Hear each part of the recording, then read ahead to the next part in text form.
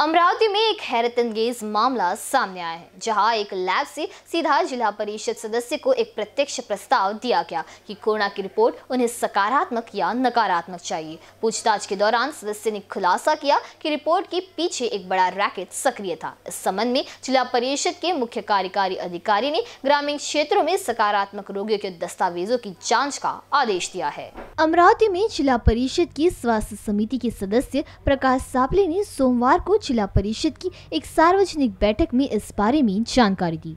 शहर के साथ साथ ज़िले में भी कोरोना के मरीज़ बढ़ रहे हैं, जिनमें हर दिन 800 से 900 मरीज़ सामने आते हैं। हालाँकि प्रकाश साबले ने आरोप लगाया कि कुछ बैंक से दो लाख रुपए का कोरोना बीमा लिया जा रहा है और लैब और कुछ डॉक्टरों की मदद से रिपोर्ट तैयार की जा रही है। पते की बात तो ये है कि एक बार किसी व्यक्ति ने बीमा करवा लिया तो उसे लैब में परीक्षण करने के लिए कहा जाता है। परीक्षण रिपोर्ट सकारात्मक होने के बाद संबंधित व्यक्ति को चौदह दिनों के लिए एक निजी अस्पताल में भर्ती कराया जाता है। संबंधित चिकित्सक को शुल्क का भुगतान करने के बाद शेष बीमा राशि को उस व्यक्ति के खाते में जमा किया जाता है।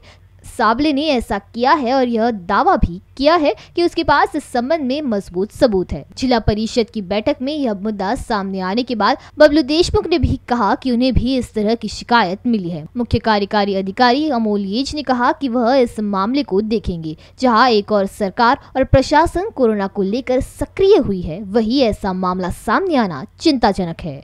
बीसीएन न्यूज़ के लिए दिशा हटवार की रिपोर्ट।